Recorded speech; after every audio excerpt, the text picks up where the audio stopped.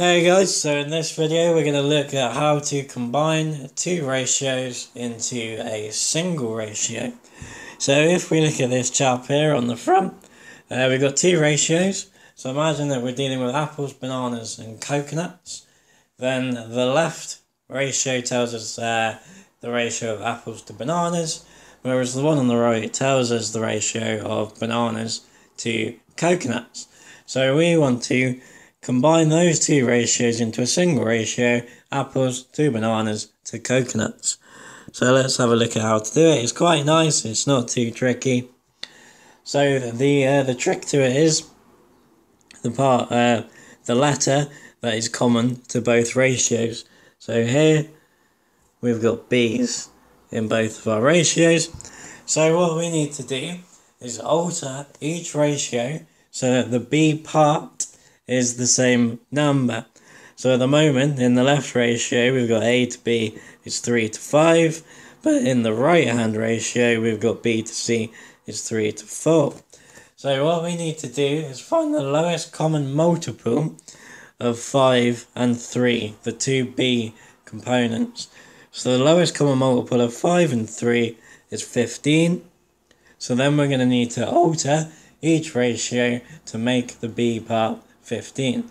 Now we can multiply ratios up exactly the same as we can with fractions. As long as we do this to one side, then we're absolutely fine if we do it on the other side as well.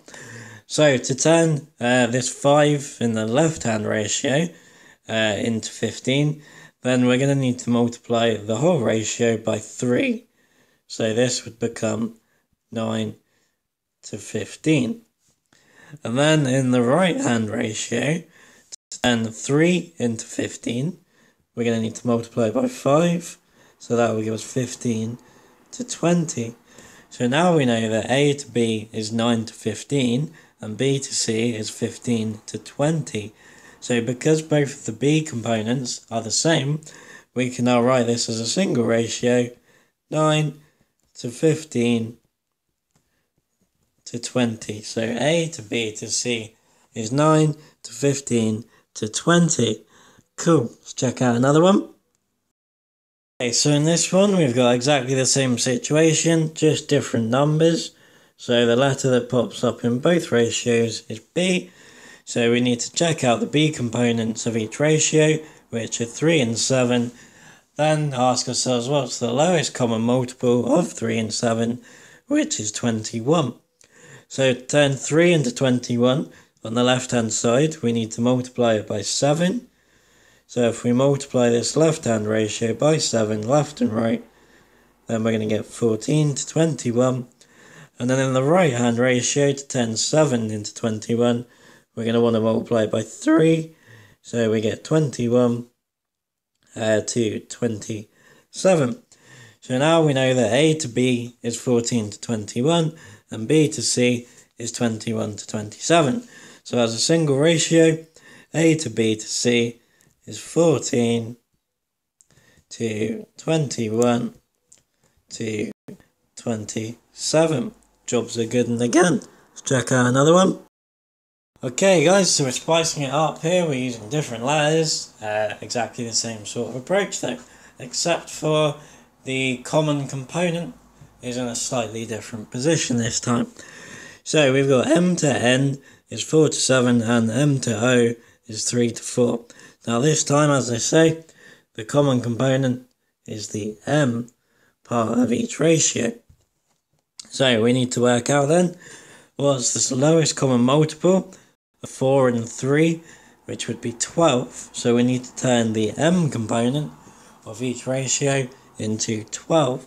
So to do that with the left hand one, we're going to multiply by 3. So we're going to get 12 to 21. And on the right hand side, we're going to need to multiply 3 by 4. And that will give us 12 to 16. So we now know that m to n is 12 to 21 and m to o is 12 to 16. Now, even though m is at the start of the ratio and o will be at the end of the ratio, we can still just write this as m, which is 12 to n, which is 21, and then to o, which would be 16. So that's m to n to o. Cracking. Let's check out another one. Okay, so this time we've got a, a, a three component ratio and a two component. So we play with this exactly the same way that we have dealt with the others. So we find our common component, which here is y. So 4 and 5, we need to think of the lowest common multiple, which would be 20. So we're going to need to multiply 4 by 5 in the left-hand ratio, so everything needs to be multiplied by 5. So we'd get 15 to 5 to 20. And then in the left-hand side ratio, to turn 5 into 20, we're going to want to multiply it by 4. So that's going to give us 20 to 36.